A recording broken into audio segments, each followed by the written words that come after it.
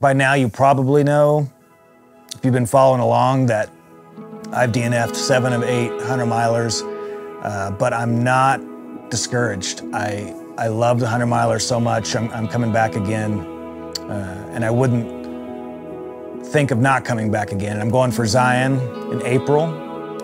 Um, but now I'm at the point where, you know, in the first episode we explored, uh, you know, my history of the 100 miler and where it's been challenging. The second one we did a tune up at Dead Horse by uh, Mad Moose events in Moab and you know, had the time of my life running that 50 miler.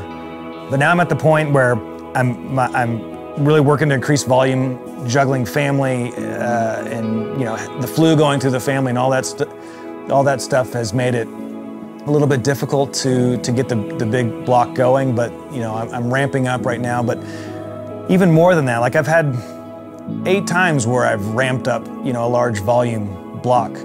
Uh, this is, there's nothing new here. Yeah, I'm doing some strength training. I think that's going to be useful and helpful, of course. Uh, but what I haven't done is really just aggressively pursued people who I think are wise in the sport, who have multiple finishes under their belt, who have been to that moment in the race where they want to quit and they don't. And I've been there myself on a 50 miler, on you know a Speedgoat 50k. You know, we've all been there, but for some reason when I get to the 100 miler, I have issues. And so I am I am reaching out to, to a lot of these people that I respect in the trail running community. Sure, that some of them have some DNFs, of course, but they they've they've pushed through in some really hard races. And the first person that I uh, I reached out to to join me uh, for this discussion was Elsa Jaworski, and Elsa has uh, got second place at the Tahoe 200. Uh, she just crushed it at the Coldwater Rumble down in Arizona. She's got the Cocodona 250 on her calendar. She's got the Buffalo 100 on her calendar. And I wanted to sit down and see how does she do it with a smile? Like a lot of these people that I've talked to are able to pull it off with a smile on their face. And I, uh, not only do I admire it, I envy it. Uh, I find myself jealous to also do it. And so when I sat down with Elsa, we talked through a, a wide array of things. Uh, and I was so inspired by it, we ended up releasing all of these as a podcast as well called the DFL Before DNF Podcast. Okay, so now now's where I get selfish. Like I, Yep. I, I want to understand. Let's let's first start with Buffalo. Mm-hmm. This is your first time. Let's let's say you've made the first loop, so 50 miles. So Yeah. So for context, for those who are listening, Buffalo is two 50 mile loops, Yeah. and uh, the first 20 miles is really interesting, and then the next 30 is really flat and long, even on the mountainside, and Yeah, you Yeah. uh, it's very runnable, and during the day it's very enjoyable by and large. And you get to the ranch, and then you come back. You go around like the north end, and then you come back, and then you got to do it all over again. Yeah. So even before we get to like how crazy the 200 was, do you remember that like being at mile 50 at Buffalo, knowing that you're about to do all of what you just did again? Um, so I felt like as prepared, I think, as one could feel to like know that my body could handle the mileage going into it. Um, a lot of like 70 to 80 mile weeks, I think, for the most part. Um, Nice. and honestly, the hardest part, I think, of Antelope was that like flat ranch out and back section because it was like mid later part of the day, just hot, flat. Like there's no uphill or downhill to like reprieve your legs. Yeah. Um, and I was like struggling pretty hard at that point, but you know, still moving. Yeah. When I came back at 50 um, to head back out, I had an entire crew of like 15 people. of My friends had come through. Yeah. And there's like boxes of pizza, and you know, I was like, okay, I've got I've got a squad here to like help That, help me change. that does remind me. Part part of your like vibe or ethos is party. yeah. Like yeah. uh, you know, like the dancing videos or Mm-hmm. whatever. So, I get. I'm, I mean, talk to me about that. Is there anything practical about that, or is that just like an expression for you? Is there is there part of you that knows like, hey, I'm going to be down? Can you guys make sure that you're there to do X, Y, Z? Yeah, yeah. So I think for me, the intention of doing all of these like music videos is the the the concept of doing even a 50k right is ludicrous. This is a stupid idea to be running this far. So if I'm gonna be paying to suffer, I might as well have a fucking good time, Yeah. right? And so a good way to keep that at the forefront of the mind is okay, what ridiculous music video can I make to, you know, you come through the aid station, the volunteers are stoked to be singing and dancing to something. Yeah. Um, you know, and so is your crew. It gives a chance for your crew to kind of interact with each other and be talking about it. Yeah. Um, because sometimes they know each other, sometimes they don't. So, and then for me too, it's like, okay, you know, it's something for me to zone out during the race. It's like, okay, well, I haven't filmed this one section, so like, let me think about what what could I do for that. You know, Yeah. a good way to kind of like distract myself a little bit. From Interesting. I mean, it's no secret if you're if you're following Borderlands anyway. I mentioned Jeremy Cox a lot. He helped me. He brought me into the sport. I watched him run the Wasatch 100, uh, his first effort, and, and then we ran a lot of my uh, first attempt at Zion together. Uh, mentioned him a lot. He's the one who handed me Unbreakable on DVD, and I, I watched it and, and just uh, I couldn't I couldn't stop thinking about the hundred miler. And so I, I wanted to talk more, even though we'd done a documentary on him. I wanted to bring him in and just talk some more about that late race urge to quit. How does he keep going? Like when his form is all gone and and things are hurting. Like there's a switch that some people have that I I uh, am looking for in myself. And so I wanted to talk to Jeremy about that in him. But so, is there a moment in any of your 300 mile efforts where you th- where you would have said, "When I get to this next aid station, I'm gonna DNF"? Um, I mean, I think I've I think I've said it more as a expression of what I'm feeling rather than this is something I'm going to do. Yeah. I, I've never really said I'm going to quit. I've said I've wanted to quit. So even at Antelope, the very last aid station, yeah. I you know I'm like getting I'm I'm pretty down, tearing up a little, and Yeah. I tearfully said to my wife like I don't want to finish Right. and um, you know she's she's not the type to coddle so she says you know something like yeah you can quit you just quit in five miles don't quit here Yeah. Quit, quit at the finish line. yeah yeah yeah i mean who quits at the last aid station right? Like, i mean i'm sure if you quit at the last aid station there are really good reasons yeah. Yeah. Yeah. There's legit, legit reasons. that's that'd be a hard one to recover from if you quit for bad reasons So, are you saying that you never legitimately entertain quitting? I mean, it's probably like it's probably like if someone asked, "Do you ever think about getting divorced?" Hmm. You'd probably be like, "I think about what it's like to not be married, but I'm not. I'm not going to take the action to Yeah. do that." That's. I, I feel like it's similar. Yeah, everybody thinks about what if they, what if I got to the next aid station and they said, "Hey, you can't run anymore." I'd feel happy and relieved. but I'm not going to cause that to happen. Yeah. I'm gonna keep going. Yeah. And I think there's always, you know, I, I've never repeated a 100 miler. Yeah. So this is my first year. I'm going to do Zion again. Yeah. This will be my first year doing one for a second time. Um, there, there's there's always a nagging uh, thing of like, well, I, if I quit now, I'd have to come back. Right. I mean, I think the other thing you should do is maybe maybe talk more shit beforehand, so that like now you've got some ego in it too. Yeah. You know, you've been talking up your seven DNFs. Yes. What's what's eight of nine if you know you you've Yeah. already DNF seven of eight? Yeah. There's a there's a guy in um, Oregon who gave me that same advice. I think his name his name's Ryan Cotton, I believe. And I said, "What's your secret?" He said, "I talk a lot of shit before the race, to where if Yeah. I don't finish, it's it's way worse than if I uh, you know than if I didn't talk the shit. Yeah. I mean, I think there's something there's something to that, right? You're Yeah. creating the, the persona you want to be, and Yeah. then now you've got to, you know, execute Live and live to up it. to it. It was fun to to run with you at Dead Horse this year. We both kind of got back on the saddle and.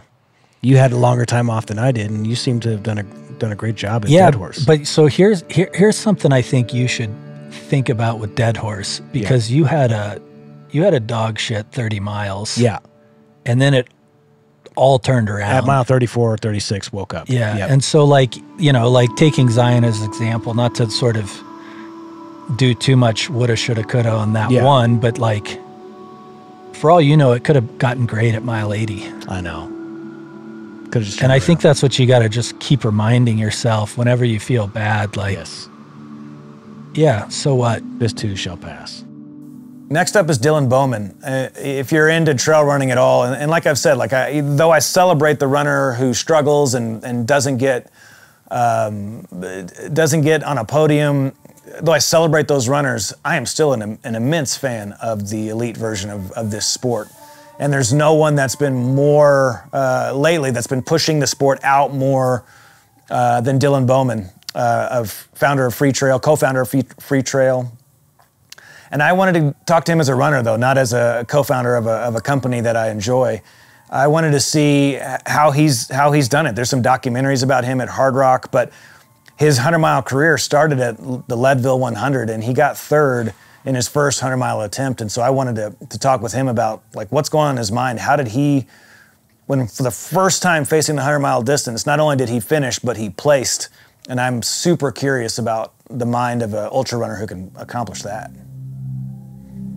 And now I'm, I'm asking for advice. When you, you know, and, and the documentary's out there, so people can can go can go deep on your story in that. You're you're dark, it, you know. It's it's late race. There's carnage, and you decide to put another foot in front of another. You know what I mean? Mm-hmm. You get up and you go. How did you do that? Yeah. So things unraveled for me around mile 60 at Hardrock at the Ouray aid station going in the counterclockwise direction. Got really bad going over Virginius Pass. Ended up recovering a little bit in Telluride, so this is roughly mile 72.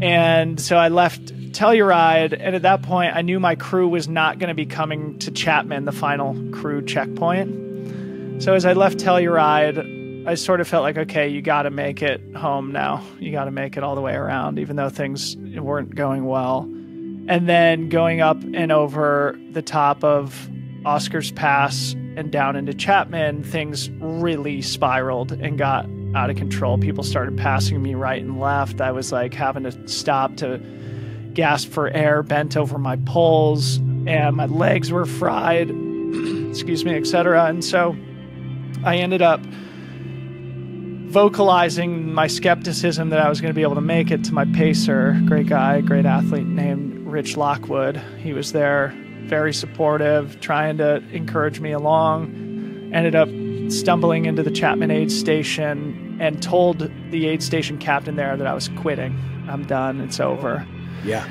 And there was a film crew there to document it. Also told the film crew, hey, I'm out. I'm done. I just got to rest for a little while the aid station captain there is a guy named Bill Shum, and he and I are now super close, and we're now actually combining forces on a new thing that we just announced to the Freetrail community that's going to try and mobilize the community around volunteer work based on our experience together. And basically, he babysat me at the Chapman Aid Station for two and a half hours. I was asleep for most of that time they fed me coffee, they fed me donuts, and eventually it, it just became apparent that, like, you can still make it, or at least you can try again to make it.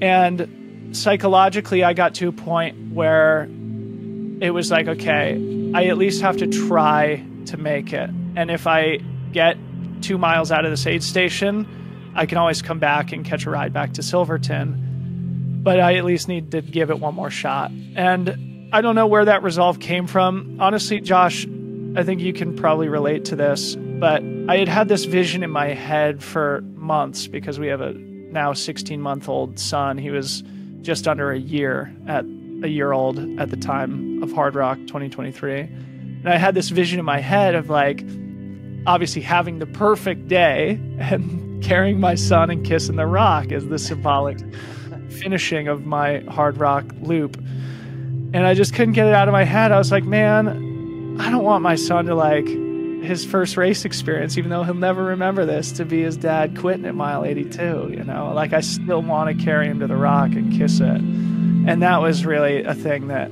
I think kept me going. And eventually I was able to cover those final 18 miles. Big thanks to Rich, my pacer, for, for helping me out through that stretch.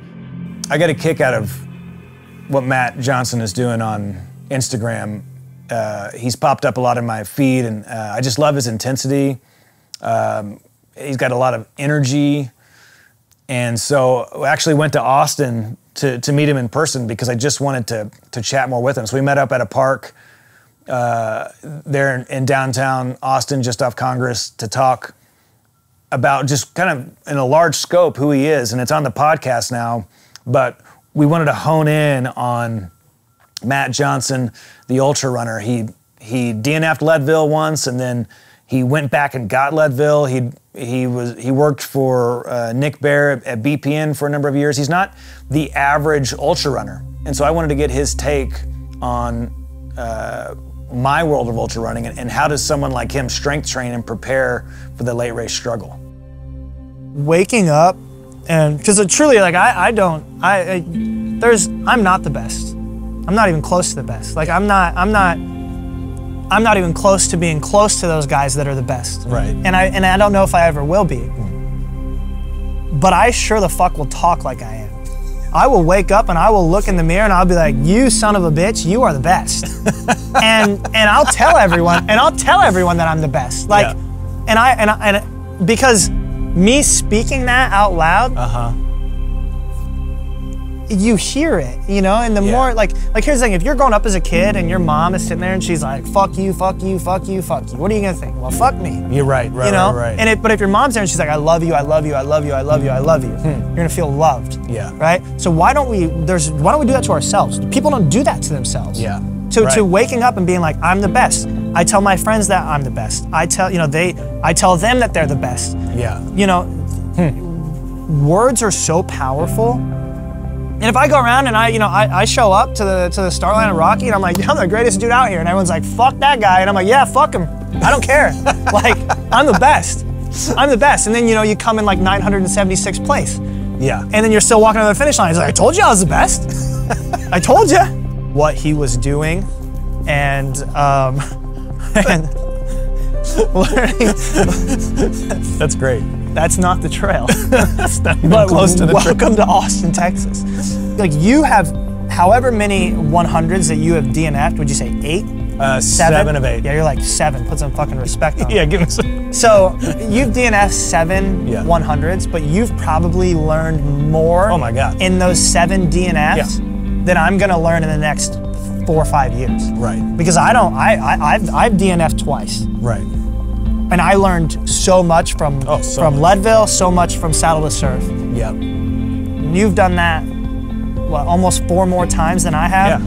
I mean, the, And I'm the, li- the thankful for each of them. Abs- I absolutely. am. And so, but when it comes down to okay, how do I how do I not?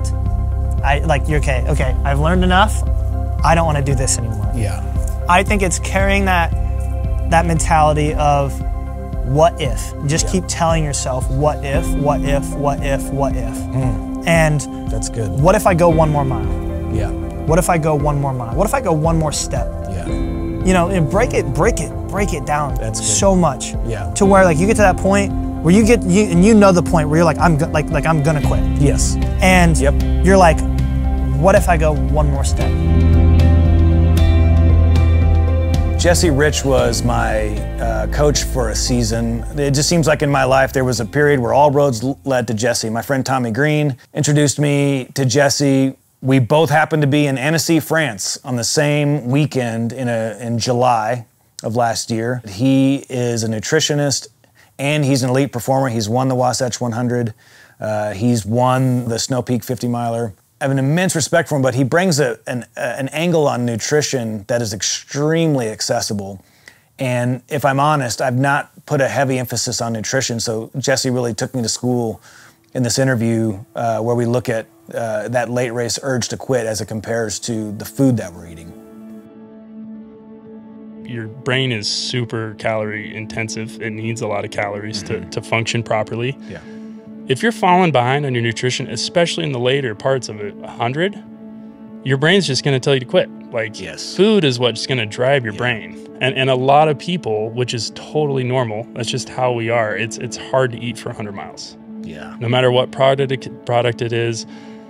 I'm working on it myself. I've gotten a lot better, helping people get there too. Yeah. It's it's not a perfect science. Like it's Yeah. hard. So one of the things I would advise to you is like, are you getting food every hour. Yeah, no. Because because if your brain is starting to lack food, no matter how hard you train, that is going to be that's going to increase the, the the volume of that voice more and more It of like. I need to quit. Like your brain when it doesn't have energy and and nutrition, it's just going to tell you to quit Absolutely. more and more. And then you're already battling your body. Yeah. You're having and your body also needs those calories. Your body's tired, your mind's tired, and you're pretty much convinced that you can't finish. Yes. But it's amazing what some glucose can do to your system. Interesting. You get you get calories into your brain and your muscles, Mm-hmm. and everything can change. You know, I, I think for me, one of my struggles is is to be externally motivated. Like I'm internally motivated. And so there's sometimes nothing that someone can say on the outside when I'm in a funk. They can only push me further away. They can't bring me in. Like if they, you know, get really in my face, it's like I, I kind of start to shut down. But I think, uh, point being on that, for other runners who are out there that are like me in that, I'm hearing like the nutrition piece, which of course you got to have thousands of calories to get through 100 miles. Like that's so intuitive.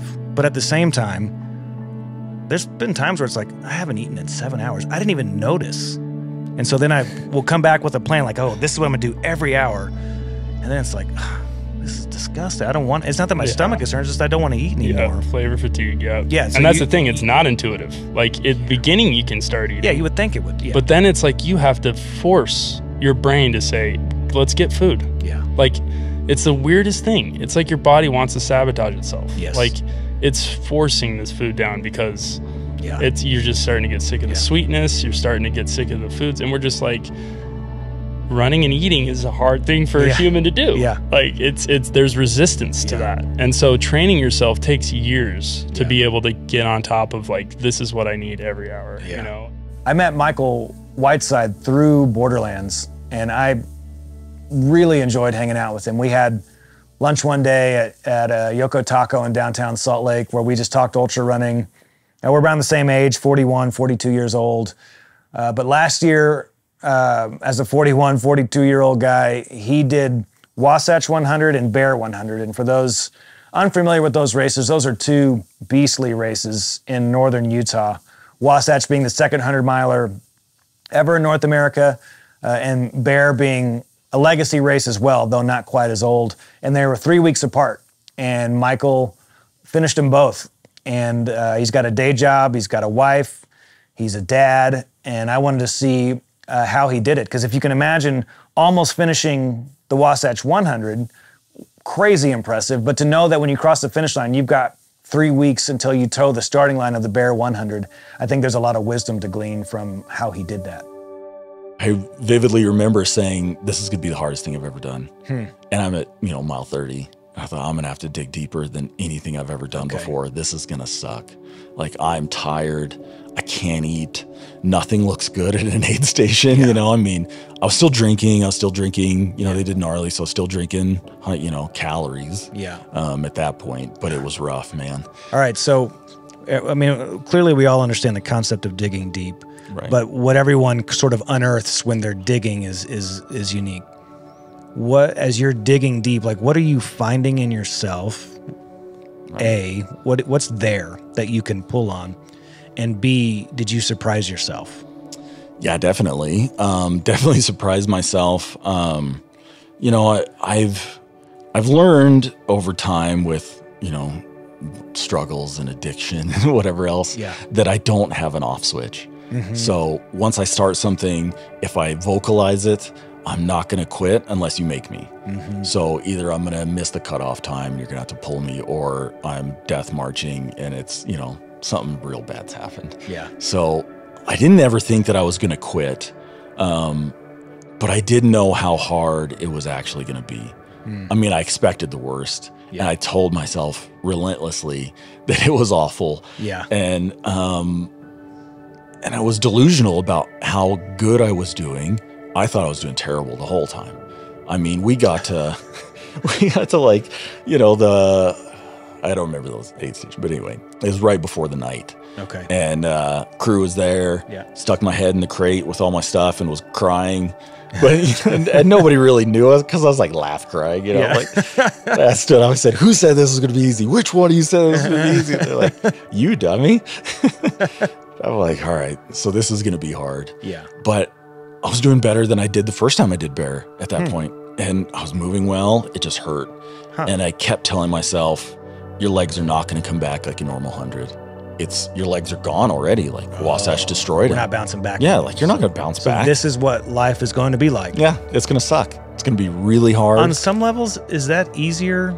I'm just thinking if I know that this is what I've got and there's no hope. This is like so it's it's to me it's it's Sisyphus. It's like I'm never going to get the rock to the top of the hill. Right, I'm it's never going to be there. So I got to learn to be happy with what I've got. right. In some ways Yeah, I think so. your legs weren't coming back. Yeah, I mean, it was like uh, there was no up gonna happen, right? Yeah. I was just going to ride this low Yeah. for the next 40, 50, 60 miles, whatever it was Yeah. going to be, you know? I mean, and, uh, and come to grips with it, right? And that's, I think, was actually, you know, I tell myself is, is the stupid way to, you know, keep telling myself how hard it's going to be. But I was, in some ways, coming to grips with the reality that it's going to suck Yeah. and it's not going to get better. Yeah. And, oh, well, like, what are you going to do? Quit? Yeah, here we you go. know what I kept telling myself? Yeah. Like, so what are you going to do? Give up? And I'm like, well, that's not going to happen. Yeah. Like I'm just not. I, I wanted it so bad. Um, Why did you want it so bad? You know, multiple reasons. Some vain. Like I told people I was doing it. Yeah. I put it out there on social media. Yeah. I, you know, I put it out there, and I didn't want to let people down. So I, you know, the weight of everybody else's expectations, Mm. which didn't exist. Sure. yeah, no one's like, God, Mike's hey, Michael's got to do this. Yeah, man. If he it. fails, oh, what am I gonna do? sucks. Yeah. Yeah. so it's like, you all know, hope is lost. Yeah. What's that guy? Yeah. So I wanted it for that. Yeah. And I knew that runners that I greatly respected couldn't do it. Yeah. So I thought, if I can do it, man, Yeah. that'd just be huge, right? I mean, um, so I just, I wanted it so bad. Yeah. And I knew there was no quit, um, but I was still terrified. I mean, Did you know there was no quit because you didn't give yourself that door? right. Yep. So you were just like, there was no option. There's one way home and it's across the finish line. Right. I reached out to a handful of uh, elite runners that I, I really respect, and Anthony Costales said that he'd come and, and tell me a little bit about his uh, history and his existence in the sport. He got third at Western States, he got third at the Ultra Trail Cape Town, and I wanted to see how he does it with a smile on his face. The guy was smiling, he blames the camera angle, but I think he was a legitimately happy runner, even at high mileage, 80, 90 miles. And I mean, I remember watching you run into the, the high school with a s- smile on your face. I mean, of course, any, anyone's going to be smiling, you know, when you can see the finish line. But a lot of the footage of you, you're smiling a lot. You know, Yeah. like is that is that is that smile that late race ability to smile? Is that happiness or is that a what is that? That's just the cameras being in the right spot at the Yeah. right time is what it is. Nice. Um, yeah, I mean, probably a lot of the times like the cameras were there was like Yeah, during um, you know, your crew stations and yeah, my crew was uh my wife and then a lot of college buddies. Yeah, like pretty I much remember old co- that, college yeah. roommates. So I mean, it's like a lot of people that I don't hang out with that much anymore, and yeah. people that probably make you laugh more than anybody. That's great. So, Yeah. When I watch, you know, your performance or other other great runners' performances over, you know, over the course of the last year, Courtney obviously had a, you know, an all-time great year. Watching that and just thinking like it's just interesting to for the everyday runner just to like look and see like what is what can we glean because we lo- I mean what, what where the Venn diagram of Anthony Costales and Josh Rosenthal like that crossover is probably just that we both love this. you know. There's no way that you could do what you do if you didn't love it. Does that mean true true? yeah, I think especially like at this distance, you definitely got to love it. I mean, you've seen a lot of actually road people try to jump into it just because they think it might be a new way to make money or keep a sponsor. Or Right. it's they're on the back end of their road running career. Yeah. They kind of want to stay tapped into something running, running and sponsorship, and it Yeah, those days are it almost really, over. It really hasn't worked out that much. So there hasn't been that many road runners that have like had that approach that it's gone well for. It's yeah. kind of more the people that have been road runners and kind of exited out early. It seems like because they just like the trail running in general and, and Yeah. enjoyed it. Yeah. But you've been able to hear, I mean, just this year you pick up the Nike sponsorship, which is awesome. Great team. Mm. Clearly, you know, a good group of people. I mean, it, it, it seems like, you know, you look at guys like Rob Krar getting a first place at the age of 42 at Western States. Like, you've got a lot of good years in you, and, and you've got a, you know, a family, and, and you've got a job here that you seem to like. One of the things that's interesting about trail running is that even even the elite runners are juggling a lot. Yeah. You know, as you're, I mean, It's becoming less and less. Yeah, I feel like there is becoming more and more like the full time yeah, professionals. That's not what I'm doing, but um, it is becoming less and less, and that's just because there's more sponsorship dollars out there, and yeah, and um, more just funding in Yeah. general. And it's it's interesting because it's you see a lot of people it is working, and then some people it doesn't. Right. So right, yeah, it's definitely uh, not for everybody. yeah, Uh, one thing that's missing, I think, in ultra trail running is discussions around mechanics.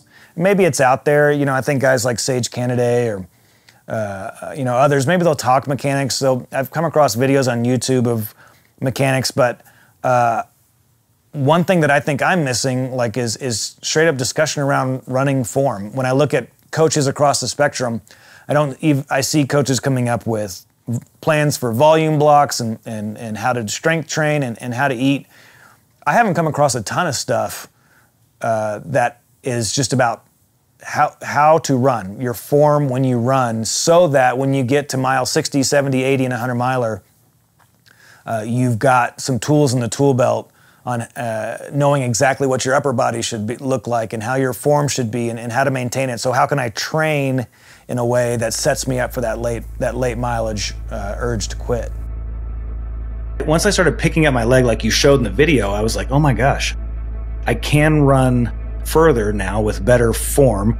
It's it's you know, in my park runs is where I'm really focusing on it. And now like that I've that I'm doing it, it's like yeah, that's the strong that's a much stronger muscle. And my muscles that go the quickest in ultras are always my hip flexors. And so uh, this is where I get kind of selfish. So first, explain what I just said better.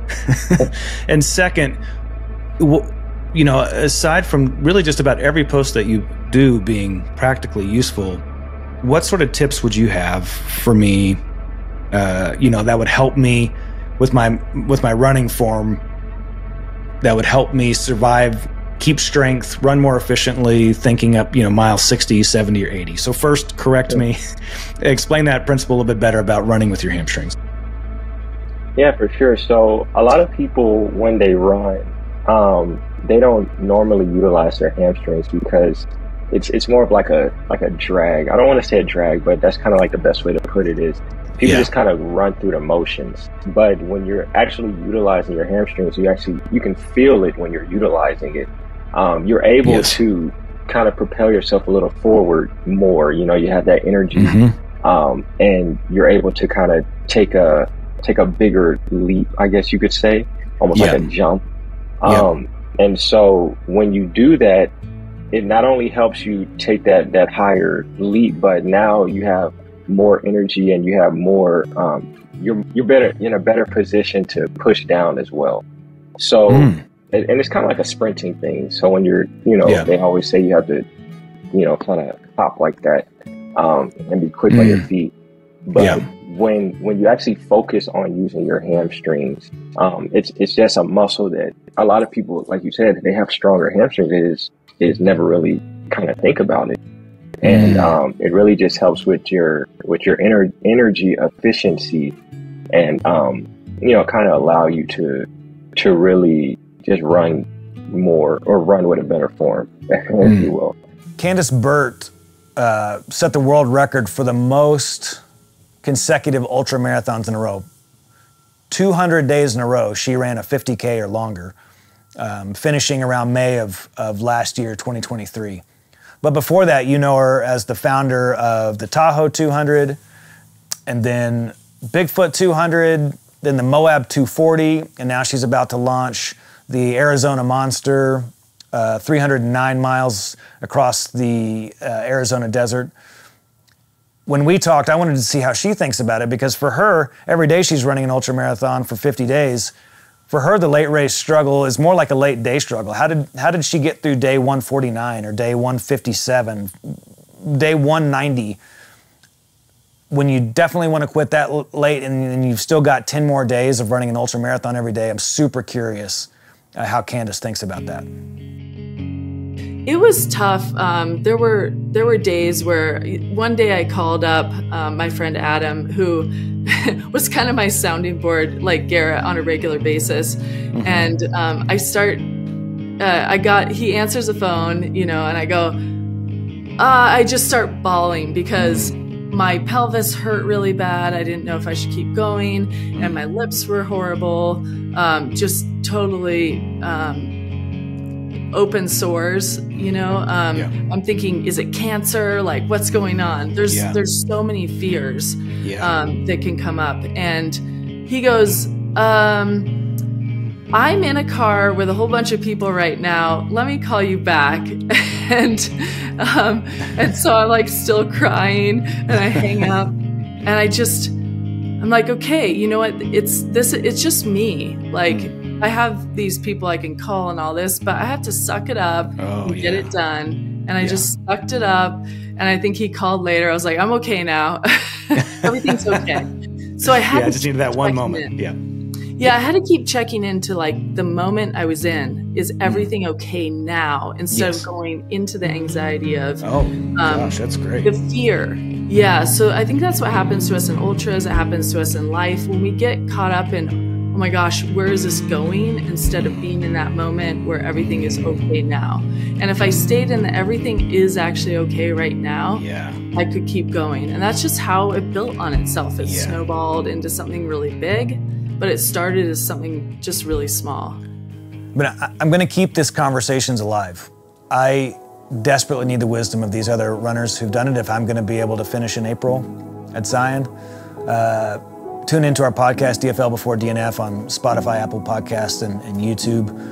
Uh, I, if I, I think at this point, because of my experience, if I can tie my experience into everything that I've been learning from these other great runners, I think I'm going to be able to finish. I, I, don't see a, let me put it this way.